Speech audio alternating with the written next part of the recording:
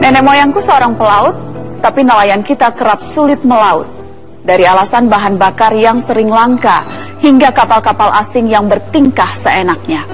Puluhan tahun dunia bahari diabaikan, nelayan kita seakan jadi pecundang di lautan. Indonesia yang dikelilingi perairan malah jadi surga bagi para pencuri ikan.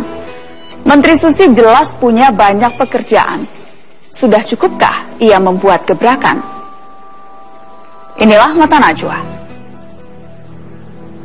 Aksi Susi.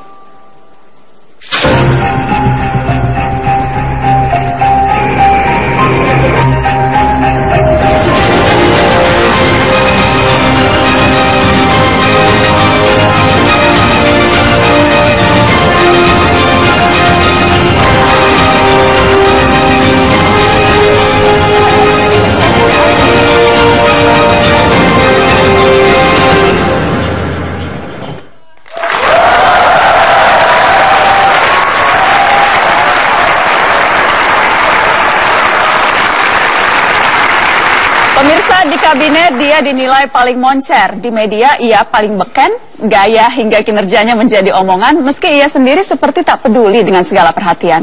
Dia punya ambisi mengembalikan kejayaan Indonesia sebagai negeri bahari. Kita sambut Menteri Kelautan dan Perikanan, Susi Pujiastuti. Hadir di mata Najwa cantik sekali, tepuk tangan sekali lagi dong.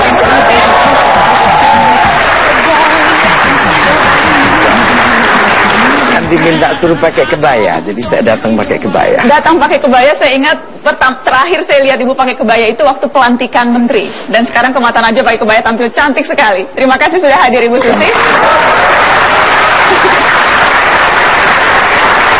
Um, Ibu dua hari yang lalu uh, kita bersama ada di perairan Riau. Um, ketika itu adalah perdana. Saya ingat saya bertanya ke ibu dan ibu bilang ini perdana pertama kali menyaksikan penenggelaman uh, kapal ilegal. Apakah pengalaman pertama kemarin itu membuat ibu akan lebih sering melakukannya atau cukup sudah sekali saja yang dua hari lalu itu? Kalau setiap kali penenggelaman saya ikut, nanti kerjaan yang lain tidak kekerjain. Jadi kalau itu kan sudah ada tugasnya, ada Angkatan Laut, ada PSDKP, ada Polri.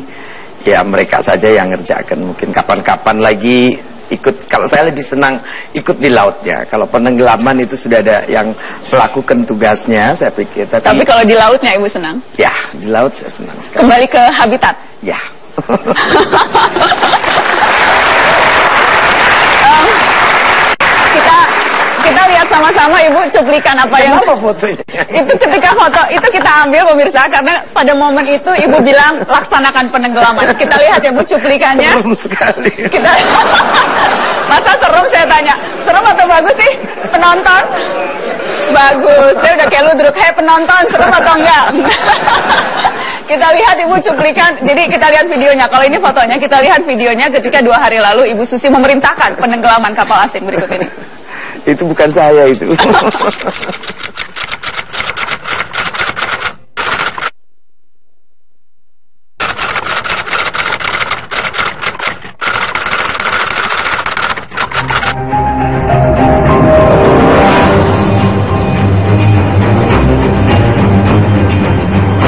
bisa ditunjukkan tidak bu saya bedanya Nah. apa kalau kita lihat di sana boleh kita mendekat ke sana ya bu Ah, tapi kapal kayu yang lain nggak ada, cuma ini aja. Oke. Nggak ada pembanding. Kayu nggak ada. oh itu perbandingan Ya. Tapi maksudnya bisa terlihat bahwa sesungguhnya ini bukan tipikal kapal Indonesia. Cucut, di sini paus. Laksanakan penenggelaman. tiga dua satu tembak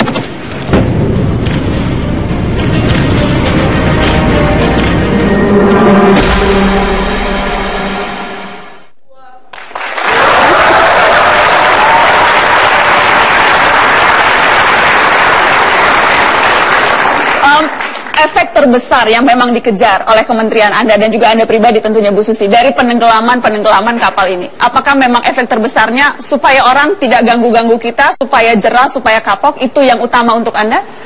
Benar dan uh, memang itu sudah terbukti dari yang sebelumnya kalau kita lihat data satelit kan dari uh, titik-titik yang begitu apa rapat sekali sekarang menjadi kosong dari kapal yang 1300 berizin saja yang melaut pakai VMS sekarang hanya sekitar 134. Nah, sebelum sebelum penenggelaman ini kan saya juga sebetulnya sudah melakukan uh, pendekatan dan langkah-langkah persuasif kan. Kita memanggil dubes-dubes.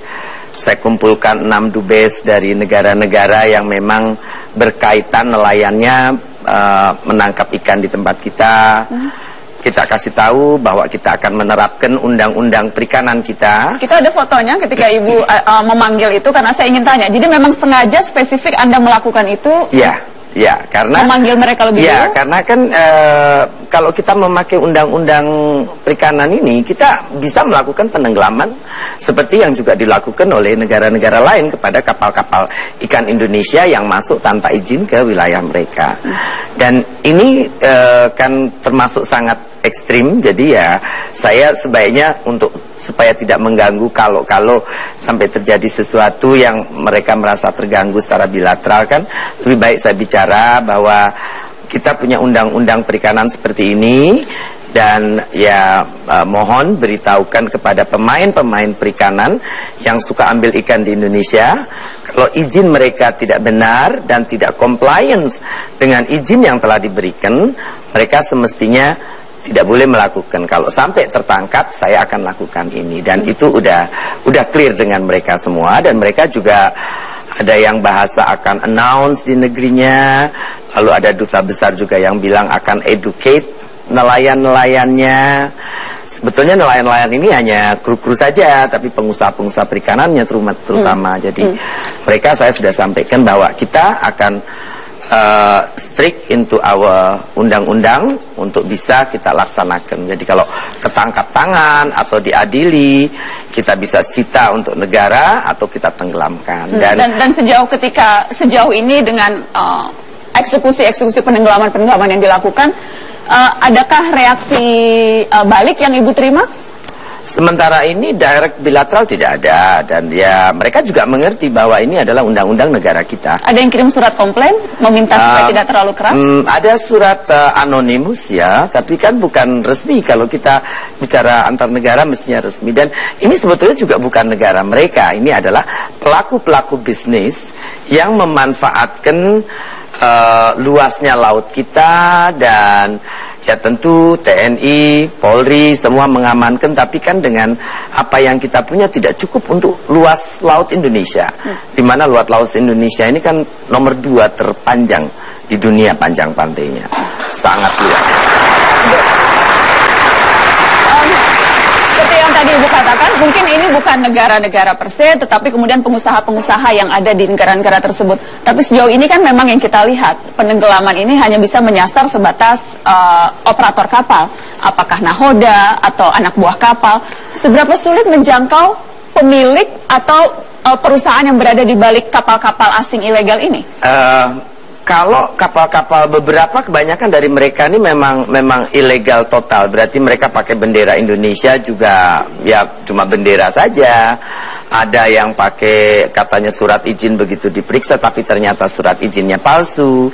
Dan kebanyakan mereka ini memang seperti eh, stateless boat gitu aja hanya tahu kita okrunya nelayan dari sini, nelayan dari Filipina atau dari Malaysia atau dari Thailand atau dari Tiongkok itu saja ABK-nya kita tahunya. Kalau ke yang punya kita juga tidak tahu karena begitu kita tenggelamin juga nggak ada yang datang cari. Begitu kita tangkap pun nggak ada yang cari. Mana kapal saya hilang atau kru saya, karyawan saya Tidak ada yang mengaku. Tidak ada yang mengaku dan kita harus me- menotifikasi negara yang di mana eh, warga negara ini berasal. Oke, kita akan lanjutkan lagi, Bu Susi. Aksi Susi masih akan kembali setelah pariwara berikut ini.